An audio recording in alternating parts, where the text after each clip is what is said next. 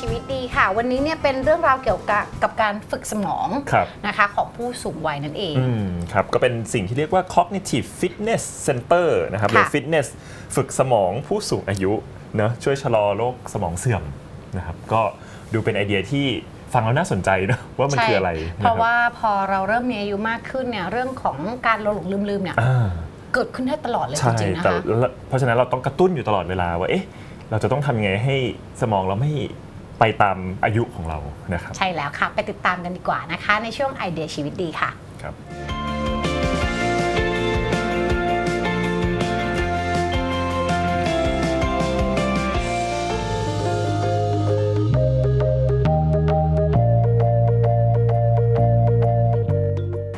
จริง ๆ แล้วผู้ป่วยภาวะสมองเสื่อมเนี่ยยังมีความสามารถในการดูแลตัวเองได้ระดับหนึ่งนะคะ แล้วก็เราคิดว่าการที่จะส่งเสริมให้สมองเนี่ยสามารถที่จะดูแลตัวเองไปได้ยาวที่สุดคือสิ่งสำคัญมาก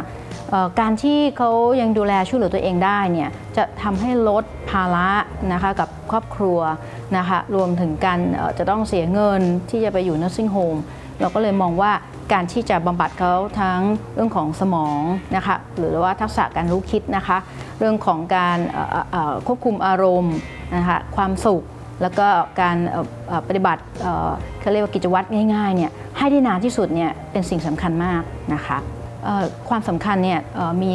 ทั้ง 3 ส่วนคือร่างกายสมองแล้วก็จิตใจนะคะ ที่เราดูแลเนี่ยเราพยายามจะใช้ประโยชน์จากทั้ง 3 ส่วนพร้อมกัน งานวิจัยออกมาเยอะแยะมากเลยว่า ถ้าเราดูแลทั้ง 3 ส่วนไปพร้อม ๆ กันได้เนี่ย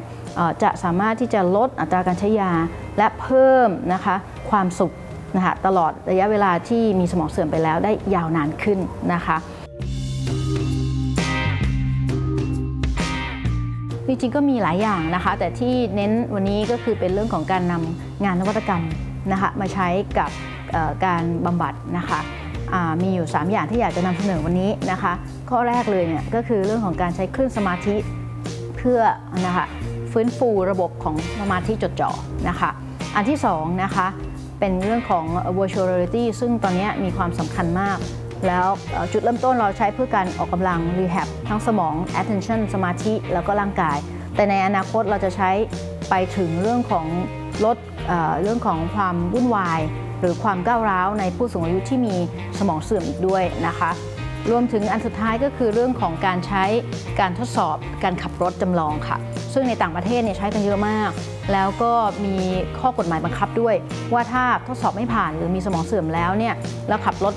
ไม่ค่อยดีเลยเนี่ยซึ่งอันตรายเนี่ยก็จะมีผลต่อการต่อใบอนุญาตขับขี่รถ แต่ในประเทศไทยเราใช้เพื่อทำวิจัยว่าในวันข้างหน้าเราจะมีอุปกรณ์ที่ช่วยนะคะให้ขับรถนั้นได้ปลอดภัยมากขึ้น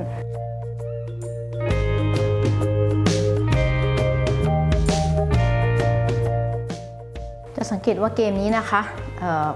ผู้เล่นเนี่ยไม่ต้องกดคีย์บอร์ดเลย ใช้แค่คลื่นสมองนะคะจะสังเกตว่ามีคลื่นสมองนะคะรับมาที่หมวกใบนี้ แล้วก็อุปกรณ์นี้จะส่งสัญญาณ wireless นะคะเข้าที่คอมพิวเตอร์นะคะเมื่อผู้เล่นมีสมาธิดีคลื่นสมองเบต้าส่วนอัลฟาคือคลื่นสมองที่เรากำหนดเอาไว้ มีสมาธิดีปั๊บนะคะ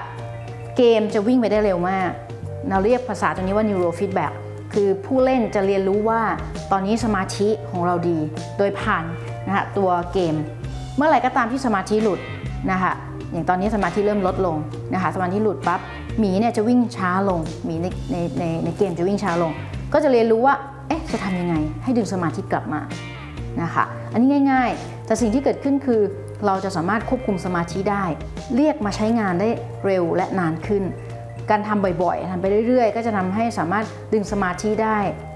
ดีขึ้นนะคะ ซึ่งเป็นปัจจัยสำคัญในการเอ่อเรียกว่าใช้ชีวิตอย่างมีอิสระของผู้สูงอายุนะคะตัวนี้นะคะเป็นเขาเรียกว่าเป็น EEG cap ก็คือ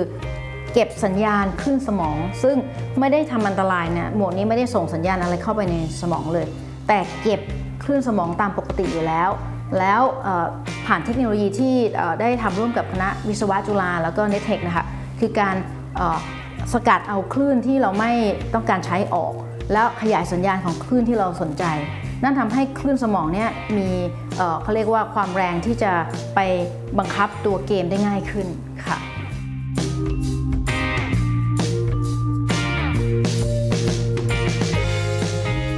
เกมนี้นะคะจะใช้เซ็นเซอร์จับส่วนต่างๆของร่างกายนะคะ โดยเฉพาะเรื่องของเออเราอาจจะวางเกณฑ์ไว้ว่าให้ ขยับซ้ายหรือขยับขวาจะมีความหมายกับเกมอย่างไรนะคะให้กระโดดข้ามสิ่งกีดขวางจะต้องยกมืออย่างไร ดังนั้นผู้เล่นนะคะจะต้องใช้ทั้งสายตา ร่างกาย ความคิด สมาธิการแก้ปัญหาในเวลาเดียวกันเลยนะคะซึ่งตรงนี้ถามว่าเหนื่อยไหมก็เหนื่อยพอสมควรนะคะ เล่นกว่าจะผ่านด่านได้ แต่สิ่งที่สำคัญคือจะประสานร่างกายกับสมองได้ไวมากนะคะอ,อ,อันนี้เราทำเอ่ออุปกรณ์กับ เครื่องออตัว Kinect พิเศษนะนะคะ ถามว่า VR ที่เราใช้กันทั่วไปเนี่ยนานาคตก็ทำได้แต่สิ่งสำคัญคือความปลอดภัย คือบ้านเนี่ยก็จะต้องบุแบบนี้นะคะคืออันนี้จะสังเกตว่าล้มตรงไหนก็ไม่เจ็บนะคะเพราะฉะนั้นถ้าถามว่าในอนาคตไปที่บ้านได้อาจจะต้องอออกแบบโดยเฉพาะค่ะ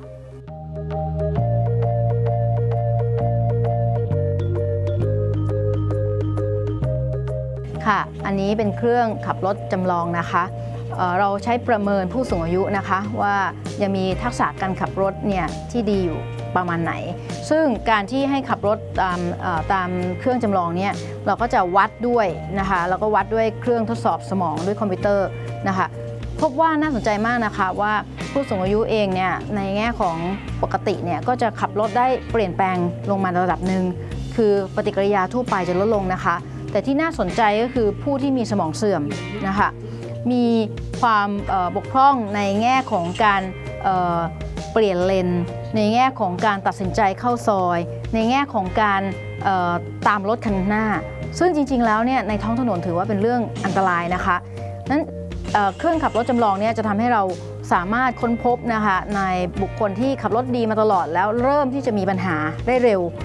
ไม่ต้องไปเสี่ยงบนท้องถนนนะคะ ในวันข้างหน้าข้อมูลตรงนี้เนี่ยเราจะนำมาใช้เพื่อหาเครื่องป้องกัน โดยเฉพาะในคนไทย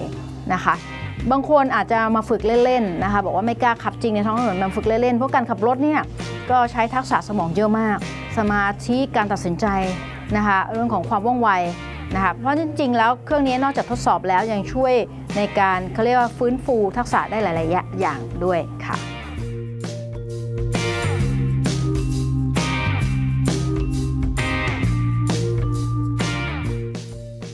ริง ๆ แล้วเนี่ยมันมีรายละเอียดนิดหนึ่งว่าถ้าสิ่งนั้นได้คิดนะคะ เช่นถ้าเอา basic เลยนะบางคนถามว่าเล่นไพ่ดีไหมหรือว่าไปสังสรรค์กับเพื่อนนะคะคือเอา basic 3อย่างนี้นะคะถ้าได้ครบถ้วนถือว่าดีมาก อันแรกสมองได้ได้ทำงาน ได้คิด2นะคะได้เจอคน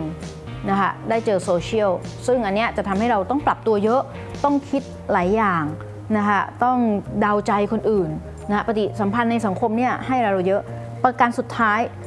สิ่งนั้นจะต้องทำแล้วเรามีความสุข ไม่ใช่บังคับแล้วทำแล้วไม่ชอบเลย หรือว่าเจอคนแบบที่อาจจะมีอุปสรรคกับชีวิตมาก แล้วเครียดอย่างนี้ก็ไม่ดี เมื่อครบ 3 องค์ประกอบ ถือว่าได้ประโยชน์กับสมองแล้วค่ะ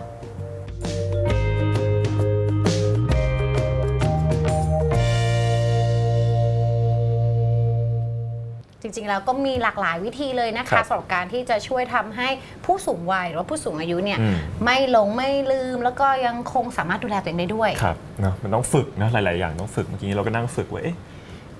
แบบวาดสี่เหลี่ยมมือหนึ่งวงกลมมือหนึ่งอะไรอย่างเงี้ยครับค่ะอ่าเป็นการกระตุ้นสมองนะครับใช่แล้วนะคะ ก็จริงๆแล้วมันมีหลากหลายวิธีใช่ไหมคะอาจารย์ใช่ครับอย่างเมื่อสักครู่เนี่ยนั่งคุยกันเลยค่ะว่า มีวิธีอะไรบ้างที่จะช่วยทำให้สมองของเราหรือว่าฝึกทักษะในการที่จะมีความทรงจำไม่หลงไม่ลืมเนี่ยอ่าครับเช่นกระตุ้นอ่าด้วยการเล่นอ่าค่ะกันหลาย ๆ ครั้งเราเชื่อว่าเอ้ยการเล่นเนี่ยช่วยได้หลายอย่าง เช่นบางคนชอบเล่นไพ่อ่า มีการบวกเลขค่ะเนาะเล่นไพ่นกกระจอกอ่าเล่นเกมอะที่อะไรที่ต้องใช้ความคิด แล้วก็มีปฏิสัมพันธ์กับคนอื่นด้วยครับ จริงๆ แล้วก็เป็นการช่วยทำให้ลดลดอ่าโอกาสเกิดสมองเสื่อมได้ในระยะยาว ค่ะ รวมถึงที่อาจารย์บอกนั่นคือเรื่องของการเอ่อฝึกการที่ไม่ทำอะไรซ้ำซากใช่เรียนรู้อะไรใหม่อ่าเช่นเดินทางกลับบ้านด้วยเส้นทางอื่น ค่ะ อ่าเนี่ยก็จะเป็นการ เหมือนกระตุ้นสมองให้เกิดความท้าทายมากขึ้นนะครับๆจริง ๆ ไม่ใช่เฉพาะเพียงแค่ผู้สูงวัยหรือว่าผู้สูคงรับอายุนะคะ เราๆเนี่ยอืมก็ควรทำเหมือนกัน ครับ จริงๆแล้วเขาเขาหลาย ๆ คนเชื่อว่าเริ่มตั้งแต่เนิ่นๆเลย เพราะว่าไม่งั้นหลาย ๆ ครั้งเวลาที่เราเอ่ออายุมากขึ้น เราจะเริ่มเกิดความกลัวที่จะลองอะไรใหม่ ๆ นะครับ ค่ะ ไงก็ฝากไว้ด้วยละกันนะคะ แต่ถ้าเกิดใครมีปัญหาเรื่องของความจำหรือว่าเรื่องของปัญหาสุขภาพอื่น ๆนะคะ ครับ ช่วงหน้าค่ะเราสามารถมาพูดคุยกันได้ค่ะ กับอาจารย์หมอทั้งสองท่านในช่วงรัดคิวหมอนั่นเองนะคะ ได้เจอกับอาจารย์ตุ้ยค่ะ อาจารย์พรเทพนะคะ ภาควิชากุมารเวชศาสตร์ค่ะ แล้วก็รวมไปถึงอาจารย์แพทย์หญิงอรวินวลิภากรค่ะ สาขาวิชาเวชศาสตร์การเจริญพันธุ์ ภาควิชาสูติศาสตร์นรีเวชวิทยานะคะ ช่วงหน้ากลับมาตามกันได้ในช่วงรัดคิวหมอค่ะ ช่วงนี้กุ๊กไก่ลาไปก่อนนะคะสวัสดีค่ะ